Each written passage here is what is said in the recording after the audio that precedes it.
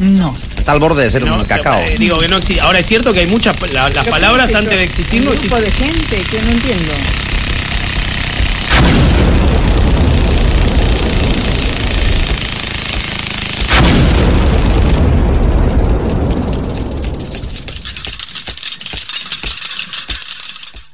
La vez en bicicleta.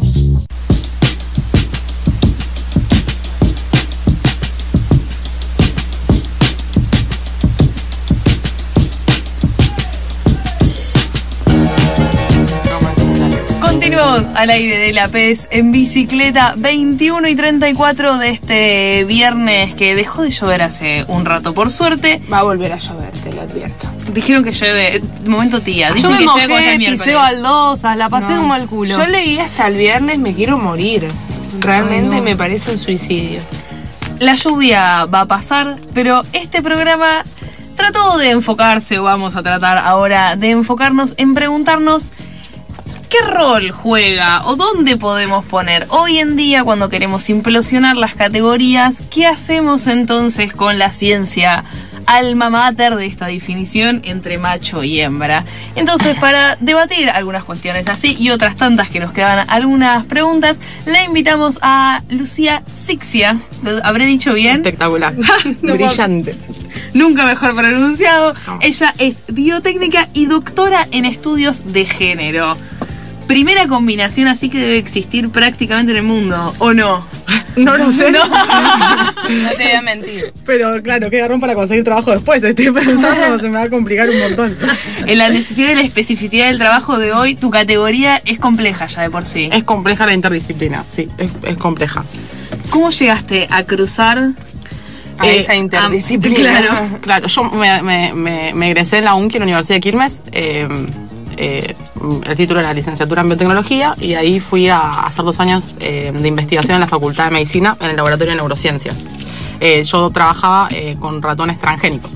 Estudiaba el, el- el rol de una proteína del cerebro que estaba ligada a, a una, a una capacidad que se llama flexibilidad cognitiva, que es cómo nos adaptamos a los cambios en el ambiente. Bien. Entonces tenía ratones que se llaman wild type o normales o salvajes, que son los que son por naturaleza así, y los transgénicos que no expresaban esa proteína, entonces hacía ensayo de conducta para dar las diferencias e intentar descubrir el rol del receptor. Eso es ciencia básica. Se intenta descubrir el rol de nuestras células, de nuestras proteínas, y a partir de eso la ciencia aplicada va a aplicar ese conocimiento con fines productivos para la salud. Me gusta. Lo que nosotros hacemos comparando 20 párrafos distintos, acá es comparando dos tipos de rata distintas. Tal cual. Para ella es ciencia básica, para nosotros es chino básico. ¿Y qué aparece ahí cuando empezás a estudiar esas ratas? Eh, bueno, aparecen, aparecen eh, dos situaciones eh, que van en paralelo, pero son distintas. Una son las condiciones estructurales del laboratorio, que era una, una forma de organización bastante androcéntrica, en el sentido de, sa- de- darme cuenta que la producción de conocimiento estaba hecha desde la mirada de- del hombre. Un tipo de, de hombre, no estamos hablando de blanco, cis, decir, que no es trans, heterosexual, eh, Occidental. occidental, eh, esa era, era, era una de las formas en las cuales la ciencia se producía y se encarnaba en, en quienes eran autoridad en los laboratorios, que son siempre varones. O sea, estamos hablando de un mundo cis, ¿no? Imagínense que las personas trans en general tienen muchos más obstáculos para acceder. Eran, eran varones en general y, la autoridad de conocimiento tenía que ver también con dictaminar un poco los valores que eran eh, importantes o considerados eh, indispensables para hacer lo que se llama buena ciencia, que era la objetividad y la neutralidad. Eso es estar encarnado también en el, el- el varón, pero en tanto a género, ¿no? Género masculino, digamos. Entonces, para hacer buena ciencia, yo tenía que dar crédito de poder tener objetividad y neutralidad. Es decir, dar crédito de valores masculinos. Porque Eh, sos una apasionada irracional, si no. Bueno, hay una, hay una, hay una dicotomía tal cual que tiene que ver con, con la división de, de- de géneros. La dicotomía, como dice Diana Magia, tiene dos características. Una es que es excluyente, en este caso es hombre o es mujer, y la otra es que es exhaustiva. Es decir, no hay nada más que esas dos categorías. Eso va acompañado de un sistema de valores que se va como a, a instalar a partir de la ciencia moderna. Y en este sistema de, de valores, como bien decís, va a quedar la razón de un lado, la emoción del otro, la objetividad de un lado, la subjetividad del otro. eh, lo abstracto de un lado, lo concreto del otro. Y automáticamente podemos determinar qué géneros se, se adecúan a cada columna que acabo de mencionar. Vamos a asociar lo masculino con la primera y la- lo femenino con la segunda. Y lo público con lo masculino Tal y lo privado con la Tal segunda. cual. Entonces, para hacer buena ciencia, eh, tenía que dar crédito de, de una, de unos valores masculinos o hacer mala ciencia, básicamente. Entonces, ese fue mi primer, mi primer motor para, para intentar hacer una reorientación eh, en la investigación que estaba haciendo. Y el segundo fue que concretamente, en- cuando hacía un ensayo de conducta, eh, me dijeron que solo trabaje con machos. ¿Por qué? Pregunté. Y me dijeron que era para evitar las fluctuaciones hormonales de las hembras. Entonces ahí dije, bueno, pero si es solo machos, calculo que los cerebros deben ser iguales, porque también tenía el imaginario que hay una dicotomía de los sexos en la cual realmente creía. Cuando yo estudié en la formación académica, pensé que la biología tenía la verdad. Y dije, bueno, hay varones y mujeres, hay una constitución genética, hormonal. Nunca pensé que era determinante en mis habilidades y conductas, pero dije en términos biomédicos, pues está bien eh, entenderlo así. En, en ese mundo compro la, dif- la Eh, diferencia, dijiste. Tal cual. Y cuando voy a hacer eh, investigación biomédica, ciencia básica, solo usaba machos. Entonces dije, bueno, entonces el cerebro no va a haber diferencia. Y empecé a ver si había diferencias o no. Y me meto en PubMed, que es como la base de datos más grande que hay en, en publicaciones biomédicas. Y pongo dimorfismo sexual cerebral.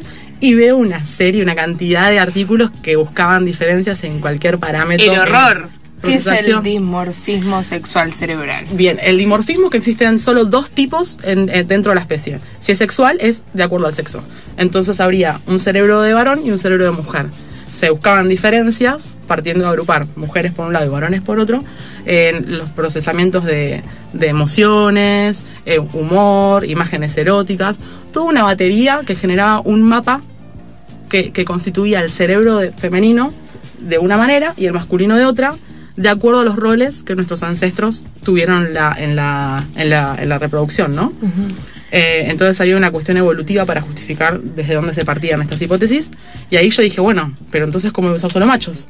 Si en teoría hay dos cerebros, solo cuentan para decirme que el cerebro de la mujer es más emocional, que limita mis capacidades y mis conductas, porque eso está asociado también a cierto imaginario social. Y por el otro lado, cuando es por el tema de salud, se omite. Y me sentí cómplice de una producción de conocimiento que era bastante perjudicial para, para toda la humanidad, menos el 1% privilegiado que es este tipo de varón. Porque no solo se está haciendo ese binarismo entre los distintos cerebros, sino que solo se están estudiando las conductas y respuestas de un solo cerebro y el otro cerebro en teoría quedaba completamente desestimado para estudiar lo que sucedía, además de todo. Tal cual. Y después me enteré que las fluctuaciones hormonales también sucedían en machos. Lo que pasa es que siempre se, se asoció, eso es muy interesante, porque siempre se asoció la fluctuación hormonal como un desequilibrio emocional.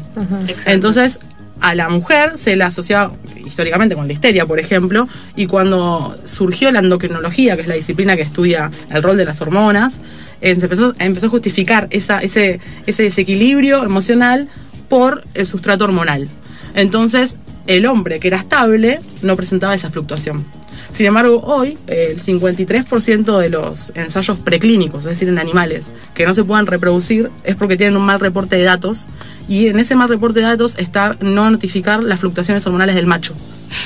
O Claro, sea, y además, al no poder haber una comparación de las dos partes, o sea, de los dos tipos de cerebro, ¿cómo pueden, cómo pueden darse resultados de si, si son iguales o no, si nunca se estudió? A partir de, de- de- de los ensayos preclínicos en animales, tal cual. Sí se hacen personas, que son estos, estas investigaciones que pretenden eh, justificar en términos biológicos eh, estereotipos de género. Vamos, lo que, lo, que, lo que se puede ver cuando se hace un análisis crítico es que se parte de los estereotipos de género, es decir, partimos que la, la nena juega con muñecas y el nene con, con- a la lucha y con pelota, por que supuestamente, desde de acuerdo a estas hipótesis de las neurociencias, eh, los roles que tienen en, en la, en, la, en la evolución, ¿no? El macho proveedor y la hembra destino biológico procreación. Es decir, que la ciencia se rige por esos estereotipos. Eh, sí. eh, Hoy en día. Yo sí. lo pregunto, parece una obviedad, pero No, creía no que no. No, ta- tal cual. Es que yo cuando me enteré dije, ¿cómo que la muñeca la elegimos porque está determinado en el estadio fetal? Porque hay una programación hormonal que de alguna Para manera va a justificar una actividad de juego. Claro. Tal cual. Entonces, hay como tres características o tres actividades que desde la neuroendocrinología, que es la disciplina que estudia el efecto de las hormonas en el cerebro, eh, estas tres- de acuerdo a- a ella, a esta disciplina, eh, hay tres actividades que están determinadas por los niveles de testosterona en el estadio prenatal, que se interpreta que en el macho y en el varón son eh, mayores que en la hembra y en la mujer. Y esas tres actividades son la actividad de juego, como decía antes, la- es verdad, la, nena con muñeca, eh, y cada cual, el nene a la lucha, y después la identidad de género y la orientación sexual. Entonces también hay una pila de trabajos que intentan buscar correlatos biológicos como agentes causales de nuestras conductas prácticas sexuales y de nuestra identidad de género. Por eso hoy eh, las personas trans están patologizadas, por ejemplo. Y, y se, se- se considera que es biológico ¿no? Eh, eh, la orientación sexual que tenemos. también. Desestimando todo lo que es la práctica cultural y la inserción del sistema en cada una de nuestras conductas. Tal cual, y desde los, desde los discursos más progresistas te pueden decir una predisposición. Lo que pasa es que en esa predisposición está la mayor definición y bueno, la influencia social es, es un poquito. Y también está el canal que habilita todo el asunto de las medicaciones. Porque si vos tenés una predisposición o una biología que te determina tal o cual cosa, también la podrías controlar. Sí, tal cual. Y cuando te empezaste a encontrar con este universo de definiciones o de investigaciones cada vez más oscura, ¿sentiste que había alguna posibilidad de intervenir en estas categorías de investigación, de modificarlas, de probar otras cosas? ¿O te expulsó absolutamente? Bueno, yo renuncié después de una crisis. Soy muy sensible. La. A cual. Tachame la doble.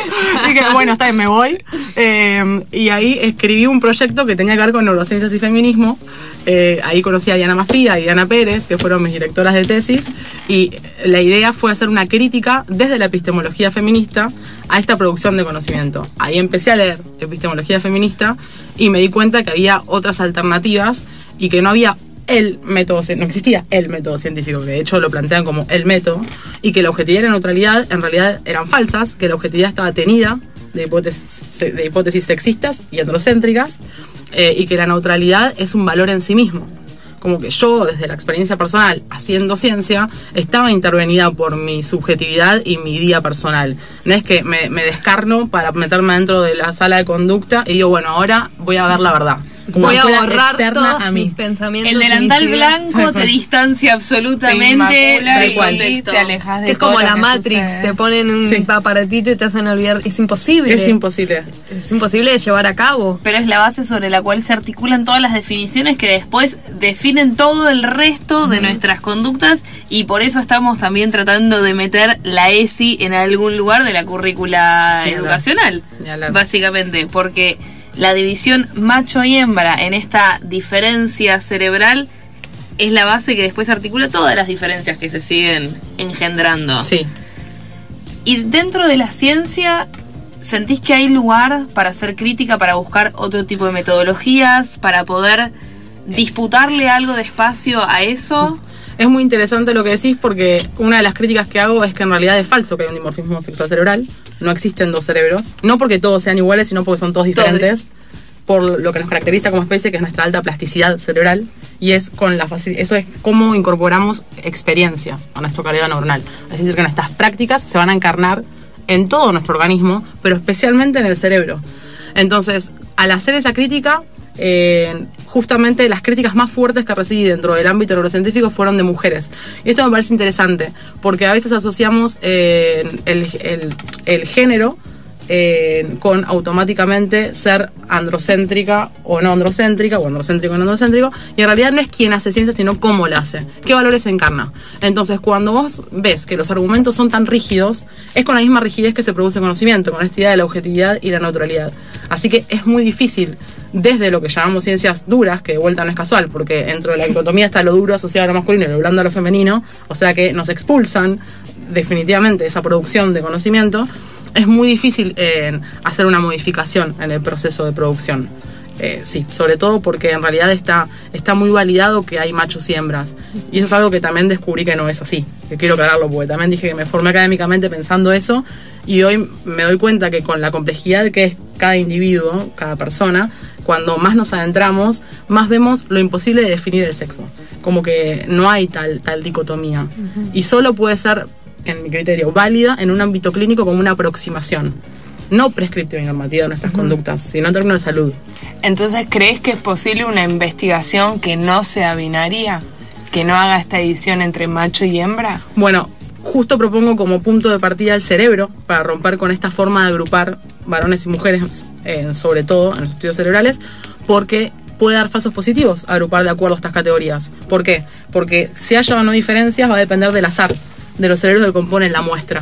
Entonces, partiendo de esa perspectiva, eh, que es con la singularidad del cerebro es la, es la regla y no la excepción, es cuando podemos revisitar toda la forma de producción y empezar a pensar que como punto de partida, si agrupamos en varones y mujeres, para una aproximación a cómo impacta nuestra constitución biológica en el desarrollo de enfermedades, después hay que seguir ahondando en los estilos de vida, por ejemplo, que son los roles de género, porque son estilos de vida, tiene que ver con los hábitos alimenticios, la actividad física, el consumo de alcohol, y eso impacta a nuestro organismo.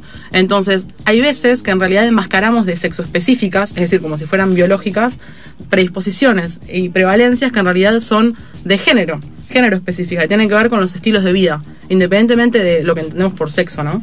Que, que es como la constitución biológica, de acuerdo Y- a, la, a la ca- categorización dicotómica.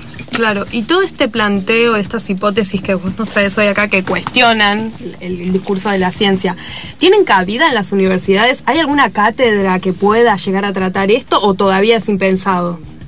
Bueno, en, en Puan ahora se ve la materia filofeminista, que para mí lo que tiene interesante es que revisita la bibliografía que se ve en la formación de filosofía, que son todos hombres. En primera instancia, hace visibilizar que no se ven mujeres, y en segunda instancia, qué pensaban esos hombres de las diferencias sexuales. Creo que esa línea todavía no está puesta en carreras como las ciencias exactas y naturales, aunque por fuera de la currícula aparecen movimientos o programas de género, comisiones de género, pero dentro de la formación académica no está esta revisión. De hecho, la historia de la ciencia cuando se da, en mi formación no la tuve, por ejemplo, pero cuando se da, se la hace de una manera eh, descriptiva, como hechos nuevamente ahistóricos, atemporales, como si fueran objetivos. No se los contextualiza.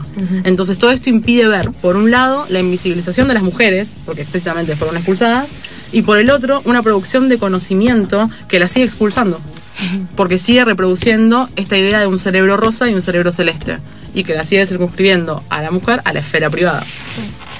Eso te iba a preguntar, cuando te empezaste a encontrar con otros textos que planteaban otro tipo de metodologías, que tenían más que ver con las líneas que estabas investigando, ¿te costó mucho llegar a esos textos? ¿Son textos que flotan aislados, que tienen como una interconexión?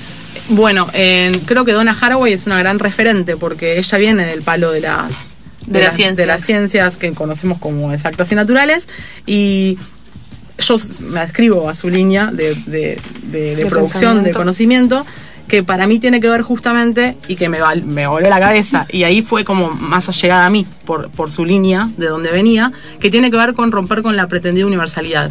Por eso cuando hablamos de una ciencia desde el punto de vista feminista hay que hablar de qué feminismo porque hay un montón de corrientes feministas y volvemos a la idea de identidad mujer como un universal porque ya estamos en una instancia, un feminismo crítico que en los 90 empezó a plantear, bueno, hay mujeres cis, mujeres trans, negras, lesbianas, entonces, ¿de qué mujer se va a hacer ciencia? Criticamos el privilegio de un varón blanco, pero ¿qué mujer es la que va a producir conocimiento? Entonces, me parece que ahí la clave está en pensar en un conocimiento situado, la parcialidad, en contextualizar el- eh, los diseños experimentales, en, qué momento y con quiénes, con qué sujetos experimentales se va a hacer ciencia. No es lo mismo en, mujeres de, la ciudad de Buenos Aires que, que del Chaco. Imagínense América Latina, en Estados Unidos, como que hay una cuestión de universalidad que partiendo de un experimento, de unas- un conjunto limitado, muy limitado de personas, de bajo poder estadístico, pretende hacer conclusiones respecto de nuestro funcionamiento en términos generales. Y lo que hay que empezar a ver es que somos un sistema abierto, que dialoga todo el tiempo con nuestro entorno, y el entorno varía. Por, las prácticas sociales, no, no solamente en las cuestiones sexogenéricas, también en los procesos de normativos de racialización, etnia, religión, eh, estatus social, un montón de intersecciones de opresión que conviven en un cuerpo. Eso te iba a preguntar, porque a las ciencias sociales le llegan a partir de los 80s, 90 la idea de interseccionalidad, y si bien podemos entender que se va aplicando relativamente, tal vez más lento de lo que querríamos, se va metiendo. Entonces tenés lecturas más recortadas, más parciales, como decías vos, en cuadrícula. No es lo mismo mujer que mujer negra, que mujer negra lesbiana que vive dentro de una favela. Entonces esa especificidad tiene una necesidad de análisis. ¿En las ciencias le llega la idea de interseccionalidad o estamos todavía en la nube de la universalidad No, es- absoluta? ese es mi próximo proyecto, digamos, porque la idea es como, es eso, cómo proyectar esta interseccionalidad de los cuerpos en los diseños experimentales. De vuelta, no en términos prescriptivos y normativos, pensando que hay una biología que va a determinar habilidades y conductas de acuerdo a estas intersecciones. No, estamos hablando solo válido en el ámbito clínico, para estudiar el desarrollo y la prevalencia de enfermedades y la incidencia de nuestras prácticas sociales en ellas. Entonces, está bueno empezar a pensar cómo extraer estos diseños. Es un desafío, digamos, como que no está hecho. Pones en tensión algo que recordaba recién que decíamos en la editorial, que en realidad es una cita a Diana Torres, que dice, a los feminismos los alejó mucho la idea de pensar en lo natural o lo biológico, porque justamente lo natural y lo biológico fue siempre el arma que nos encadenó a la otredad, digamos. Desde un punto como la Organización Mundial de la Salud sac- nos sacó a las Nuestro homosexuales en los 90 recién como una enfermedad. Entonces, Y puso fue- a las personas trans. Hizo un cambiazo, digamos. Claro. bueno, estos no Hizo un enroque. Entonces, ¿desde qué lugar podemos volver a pensar a lo biológico o a lo natural como un punto de partida para poder revolucionar, cambiar y transformar y no que nos siga siendo una palabra que da miedo, que te pone piel de gallina? Total. En ese sentido, yo también eh, soy partidaria de esta, de, de, bueno, esta corriente de los 90 que tiene que ver con el surgimiento de la teoría queer, de los estudios trans, que plantean, en, haciendo una, una separación de lo que fue el feminismo de la segunda ola, esquemáticamente lo dividimos en olas, ¿no? Primera ola, segunda ola, podemos considerar tercera ola en los 90. En, en la segunda ola se planteaba mucho eh, la, la situación del sexo antecediendo al sexo, como hay un sustrato biológico. Está bien, el género era una construcción social, pero esa construcción social, de alguna manera, era una consecuencia, no una consecuencia directa, pero bueno, había, había un sustrato que lo antecedía biológico. Y eso es lo que toma la producción de conocimiento científico, que de hecho usa sexo y género de manera intercambiable, porque se entiende que el género es una consecuencia del sexo biológico. Se construye socialmente algo que es natural. Entonces, lo primero es plantearnos, y acá sí también tomo la teoría queer, que en realidad es el género que antecede al sexo, que antecede y construye el sexo. Cuando antes decía que no hay dos varones y mujeres, es una, una categoría dicotómica, tiene que ver con una dicotomía de género que en realidad está proyectada en los cuerpos y construimos de esa manera nuestros cuerpos. No sabemos hasta qué punto nos limitamos, incluso físicamente, ¿no? Con esto de no ocupar espacio, las mujeres con las piernas cerradas, no hacer ruido, el hombre desenvuelto, el juego mucho más eh, de contacto en la infancia. Nunca sociabilizamos de manera diferente para ver cuán solapadas o cuán en teoría dimórficas son estas diferencias, porque por ahí las estamos construyendo. Entonces, partir de la teoría queer, por ejemplo, tomando esto, el género antecesor de- del sexo, podemos empezar a pensarnos de alguna manera como sin esencia, que es, la idea. Y en ese sentido, es importante para mí es una diferencia entre natural y naturalización. Porque hablar de natural es plantear, y natural asociado a lo normal y lo sano, ¿no? Que viene también de lo- del discurso médico. Es plantear de alguna manera algo biológico que es una norma y todo lo que se corre de esa norma, que es un, estadísticamente lo general, es un desvío. Y ahí marginamos a un montón de personas que se corren de esa norma. Entonces, lo que hay que empezar a plantearnos es que en realidad lo que hay son personas reales que tenemos que adaptarnos a dos ideales, que son normativos. Entonces, desde esa construcción ideal, nosotras, las personas, adaptamos nuestros cuerpos reales. Entonces, empezar a, a- a- a forjarnos una producción de conocimiento que entienda esto, en, en la medida de lo posible, no es lo que va a pasar ahora, pero va a empezar, va a empezar a romper con este esencialismo y plantear que la naturalización es lo que nos vuelve dicotómicas en tal caso. Y quiere decir una producción cultural que va a querer justamente generar una naturaleza humana, cuando no hay tal cosa. Esa es la naturalización. Y podría haber en la ciencia o en un nuevo paradigma de ciencia o en dentro de la crítica a la ciencia una metodología que permita desde lo queer o desde el transfeminismo la investigación. Bueno, creo que la el primer punto de partida es empezar a esto que hablábamos antes del conocimiento situado. Empezar a plantear que las divisiones hombre-mujer no, no tienen que ser automáticas. Primero, los estudios cerebrales sirven para mí como punto de partida porque nos ponen en jaque. Es decir, da falsos positivos. Empecemos a pensar, gente, cómo agrupamos los cerebros, porque hay que validar la población de cerebros y las categorías de acuerdo a lo que se esté estudiando. Ante ciertas prevalencias, como por ejemplo el autismo, que en teoría es más prevalente en niños que en niñas, por ahí es válido agrupar en varones y mujeres. Después discutimos si hay un origen biológico o no. Yo creo que, que no. Pero Pero más allá de eso, por la importancia clínica, bueno, partamos de eso, pero no nos quedemos ahí. Habría que crear Hay que nuevas seguir. categorías. Tal entonces. cual. Sobre, ¿Sobre qué criterio? Entonces, eso está bueno extrapolarlo al resto de los órganos y sistemas fisiológicos. La metabolización de fármacos, por ejemplo, es válido varones y mujeres. Se sabe que biológicamente, en esos términos, ámbito clínico de vuelta, eh, no, no como categoría normativa, pero se sabe que la metabolización de fármacos varía de acuerdo a, a- a una constitución biológica aproximadamente en dos formas. Bueno, vamos a empezar a agrupar varones y mujeres, pero después sigamos, porque también hay estilos de vida que afectan la metabolización de fármacos, por- como por ejemplo la actividad física. Entonces puede haber diferencias en ese sentido y no sexo específicas. Alguien que está relegada al ámbito privado y que no va más allá de eso puede tener muchas diferencias físicas con alguien que todos los días sale de su hogar a hacer un millón de cosas y no se encarga del adentro, digamos. Total, y, y encima, y también tiene que ver un poco con las prevalencias en términos de lo que se llama desórdenes psíquicos, que por ejemplo la depresión dicen que tiene una mayor prevalencia en mujeres y se busca el origen biológico, porque como es mayor en mujeres que en varones, se entiende que hay una diferencia biológica. Y en realidad lo que tenés es una correlación estadística. El Estás género femenino en tu casa todo el tiempo, ¿cómo no te vas a y cagar o tiene- deprimiendo? y tiene una tensión también. siento desdeño de violencia. y tiene una tensión con lo profesional y lo personal, que el varón o el género masculino en general no tiene. Entonces hay una tensión que se encarna en el cuerpo y probablemente va a tener más problemas eh, anímicos, sociales, de vuelta, estructurales. Volviendo a la idea de la adaptabilidad que decías en las ratitas al comienzo, si no hay lugar o si no hay posibilidad de adaptación dentro de un sistema científico que es heterosexual, que es hombre, que es cis, que es blanco, que es de batita institucionalizada, si no queda lugar a la adaptación, quedará lugar para encontrar las fisuras y romper todo, me imagino. So- sí, sin duda. Esperemos. Pero estamos haciendo una fisura cada vez más grande. Es espectacular eso. eso.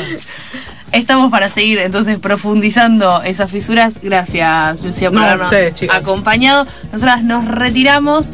Nos reencontraremos el viernes que viene a las 9 de la noche. Le mandamos un saludo a nuestra dominicana amiga Aldana. Te amamos, Aldana. Que Dios la tenga en dominicana. Nosotros nos retiramos, nos encontramos el viernes que viene porque ante todo aguante la comunicación alternativa y feminista. Chao.